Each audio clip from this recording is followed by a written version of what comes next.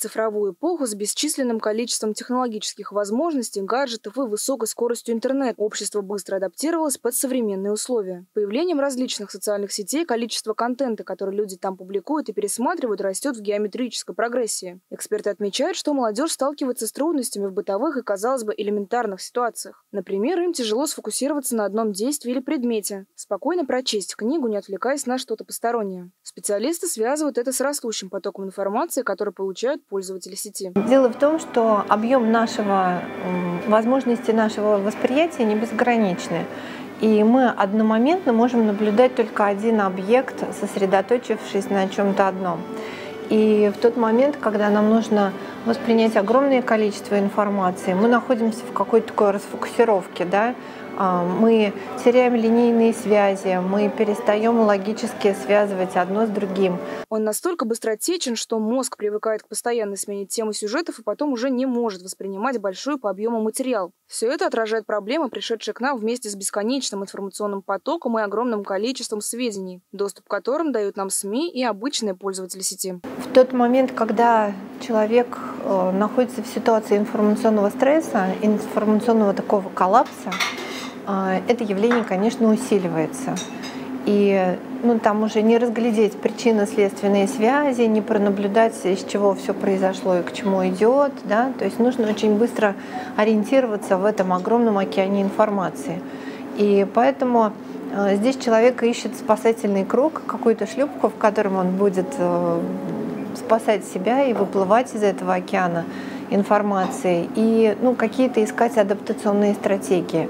Вот э, то, что мы называем клиповым мышлением, это как раз стратегия адаптации человека ну, к такому большому объему информации.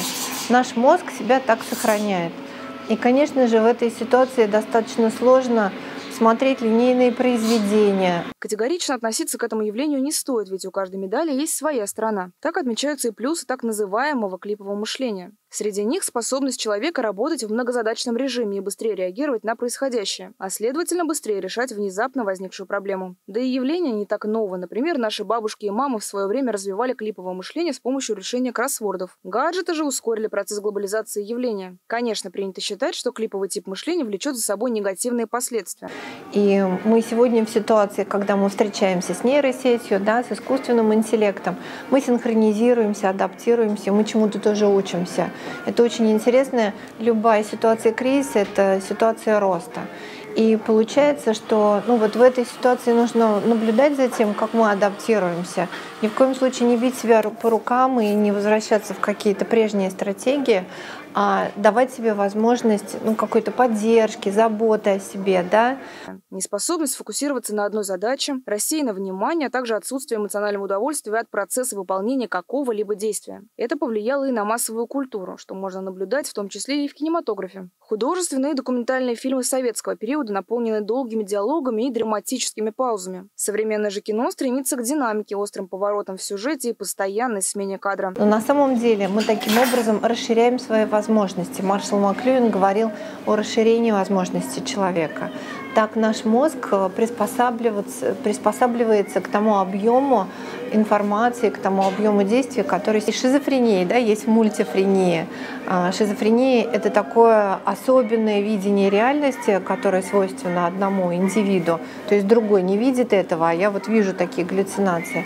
А мультифрения — это ситуация, когда а, очень такое разноплановое восприятие реальности, оно правдоподобное, ну, такое многозадачное, когда мы все здесь можем видеть ну, разную глубину э, происходящего. Несмотря на абсолютно очевидное несовершенство цифровой реальности, нужно отметить, что весь информационный поток и шум, который, несомненно, раздражает нашу нервную систему, буквально атакует наш мозг. Он успешно адаптируется под этот бешеный режим жизни. Эксперты отмечают, что не стоит отрекаться от технологий и новшеств, которые пришли в наш мир. Наличие осознанного подхода у человека может изменить реальность и в лучшую сторону. В клиповом мышлении можно найти плюсы даже простыми действиями. Обычный разгрузочный день без социальных сетей, прогулки по свежему воздуху и обыкновенное наблюдение за облаками или звездами это поможет мозгу замедлиться и отстраниться от информационной суеты 21 века. Карина Саяхова, Валерия Карташова, Николай Суховский, Универ Новости.